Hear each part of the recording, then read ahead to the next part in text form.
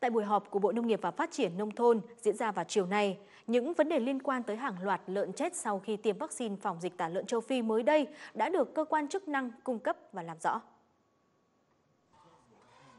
Thời gian qua, sau khi tiêm vaccine phòng dịch tả lợn châu Phi, hàng loạt lợn của người dân ở tỉnh Quảng Ngãi, Phú Yên, Bình Định bị chết hoặc phản ứng mạnh, khiến người dân bị ảnh hưởng.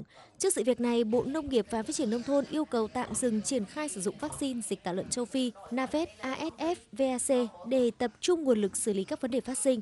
Theo Cục Thú y, qua kiểm tra xử lý, phát hiện nhiều nơi đưa vào tiêm mở rộng vaccine chưa đúng với tinh thần và hướng dẫn của Cục. Việc tiêm sai đối tượng chỉ định được dùng vaccine, tiêm không có hướng dẫn, giám sát của cơ quan thú y dẫn đến tình trạng lợn phản ứng và chết.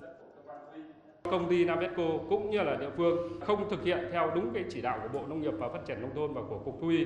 Cụ thể đấy là công ty thì cung ứng vaccine cho Ờ, uh, chi cục chăn nuôi và thú y tỉnh uh, Bình Định. Sau đó ờ, chi cục này có cái sai sót đấy là để cho trạm vật tư thú y của cái chi cục này cung ứng trực tiếp cho các đại lý thuốc thú y. Các đại lý này lại bán một cách tự do uh, cho người chăn nuôi cũng như thú y cơ sở.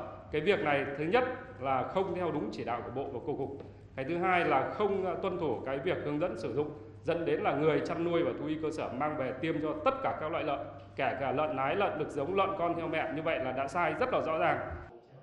Cục Thú y khẳng định vaccine phát hành đã được đánh giá trong nước và quốc tế, có văn bản khẳng định kết quả nghiên cứu và cấp phép lưu hành chặt chẽ. Do vậy, để xảy ra sự cố này, các khâu từ tiêm, giám sát sau tiêm đều chưa tuân thủ đúng quy định và hướng dẫn. Cùng với đó, qua kiểm tra phát hiện số liệu tổng hợp, số lợn chết và bị ảnh hưởng sau tiêm vaccine tại một số địa phương chưa đúng với thực tế. Có những hộ ngay tại Quảng Ngãi có 102 con, có hai con chết nhưng còn lại là bán hết, bán chạy hết nhưng vẫn khai báo đấy là là đã chết rồi. Ngay cái số liệu đấy cũng ờ, rất là ờ, không chính xác.